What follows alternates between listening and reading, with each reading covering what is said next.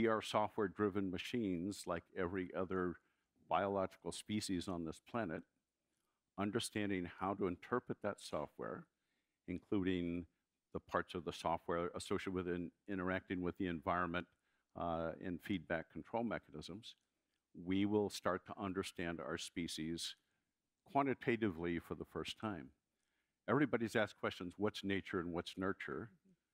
We will be able to solve in the next decade mostly of what's nature. By difference, everything else is nurture.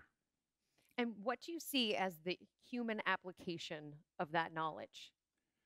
The ideal application that we see is preventative medicine. If you know that you have uh, these risks for different diseases, uh, in the cases where you can do something about it early, you can change behavior, uh, change uh, what you eat, uh, uh, maybe have different therapies. But we're also hoping to find the genes associated with healthy life. For example, the scientific community has looked for genes and changes associated with diseases and traits that they're studying. Nobody's really looked for the other side of why don't you get that disease? What, why is he not a murderer? Um, I have a risk allele for Alzheimer's disease.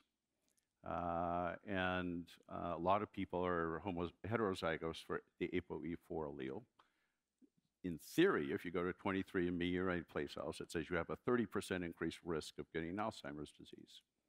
But not everybody, obviously, with that allele will get it.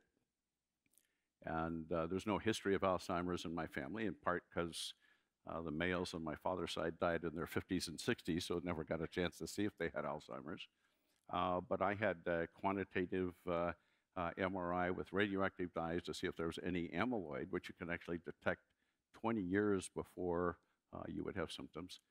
And my brain is totally void of amyloid.